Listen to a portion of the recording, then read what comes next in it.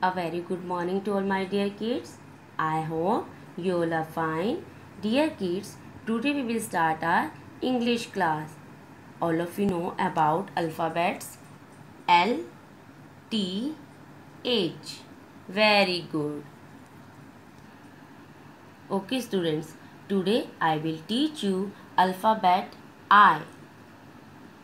Let's start.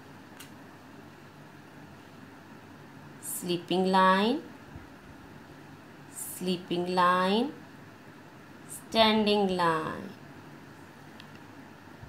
sleeping line, sleeping line, standing line.